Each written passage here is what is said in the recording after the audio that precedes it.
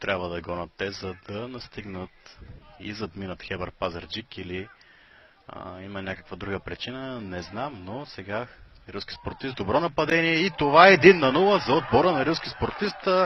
Петко Петков открива резултата с този хубав гол.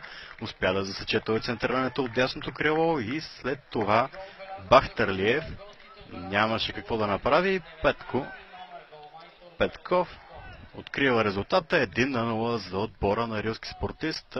Тук вече става интересно, след като че трима човека поиска Райче в нея.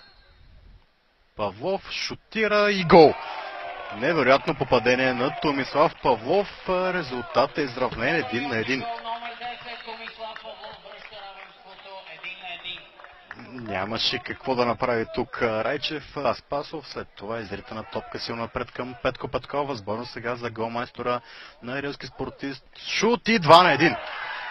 2 на 1 Петко Петков. Второ попадение за него в този матч.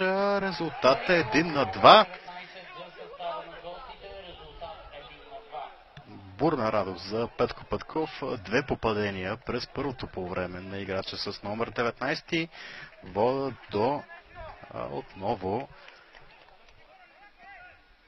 ще трябва да покажат максимума. Хубав удар, този път избит от Райчев. Хаджи Николов а, изпрати този снаряд, който обаче беше в обсега на вратаря на рилски спортист и той успя да тяхно притежание правилни авантажи, според мен, от страна на главния арбитър. Дава максимално много игрово време. Този път рикошет и гол. Калуян Бонев с а...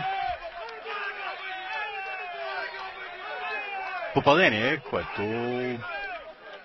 доведе малко случайно, но в крайна сметка резултатът е изравнен 2 на 2. Калуян Бонев просто беше на правилното място за неговите възпитаници. Така и не успяха да запазят аванса си, но пък ако имат достатъчно физически сили. О, много хубав гол, много хубав гол тук на Йоан Маринов. Мисля си, че това попадение на Йоан Маринов заслужава а, да бъде гледан отново и отново. Наистина Йоан Маринов с а, невероятен гол. Топовен шут, който обаче нямаше как